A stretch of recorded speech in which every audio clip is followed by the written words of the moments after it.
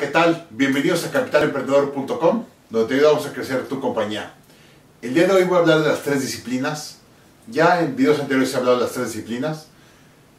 ¿Por qué son importantes las tres disciplinas? ¿Qué es lo que realmente eh, eh, están ayudando a mejorar? Nosotros decimos que las empresas normalmente toman decisiones dos meses tarde. No puedes tomar decisiones dos meses tarde, te, te mata tu mercado. Entre más rápido creces, más rápido tienes que tomar mejores y más rápidas decisiones. Y si tomas decisiones con dos meses de atraso, estás muerto. Entonces vamos a ver cómo pasa esto, ¿no? Este es, imagínate, vamos a hablar primero de enero. Entonces tienes el primero de enero. Y dices, mi objetivo de enero es eh, vender mil servidores, digamos, de un producto. Es más, de hecho esto viene de Michael Dell. Michael Dell, el dueño de Dell Computers. Él, él, él explica este modelo muy bien. Y dice, oye, quiero vender mil servidores de un modelo nuevo y quiero un 20% de margen. ¿no? De la venta, meternos a la bolsa el 20%. Ahora, ese es el objetivo. Pónganse a vender. Se empieza enero, se pone a vender, llega el 31 de enero y Michael Dell dice a su equipo, ¿qué pasó? ¿Cómo nos fue? ¿Vendimos mil servidores? Pues 995, le fallamos por tantito. no importa, 0.5% no pasa nada. Estamos bien. Órale.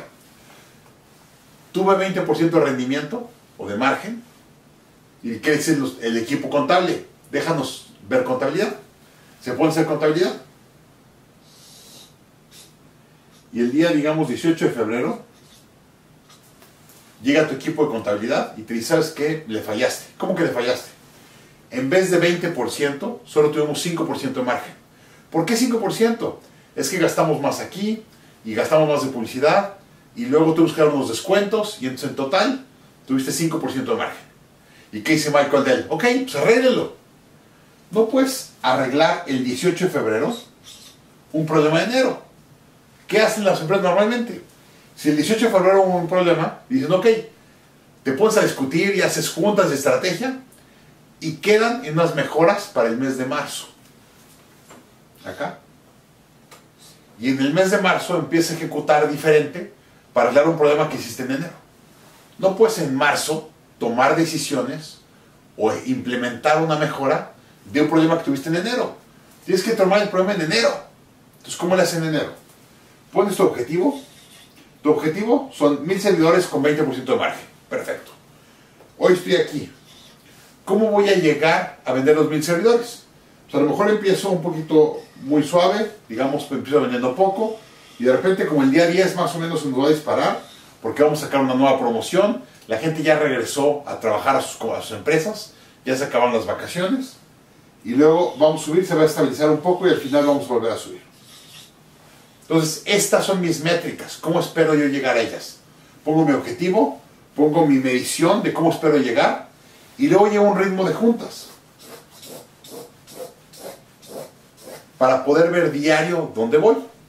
Y si el día, digamos, el día 10 del mes, yo voy aquí, aquí debería de ir, ya voy 20% abajo. Si no hago ningún cambio, ¿qué va a pasar? Voy a llegar acá, menos 20% de lo que quiero llegar. Entonces es súper importante que entiendas, antes de que sea un problema aquí a final de enero, entiendas que vas mal y le metas la mano para corregir el problema ahí.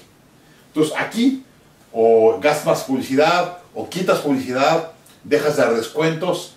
¿Qué vas a hacer? ¿Qué, qué cambio vas a hacer aquí para poder llegar? Y corriges el rumbo y ya sigues tu curva.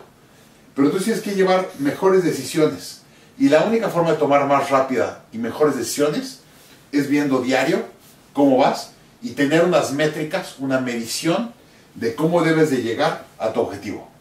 Y si estás claro con tu objetivo y tus métricas y las ves constantemente, si tienes un problema, lo puedes identificar antes que sea un problema. Empieza a identificar una tendencia que se empieza a poner que va medio mal y ahí mismo le metes mano para arreglarlo y lo corriges. Súper importante. Entonces, pones una prioridad, métricas de cómo vas a llegar y un ritmo de juntas que te permita identificar el problema antes que sea un problema y corregirlo. Gracias.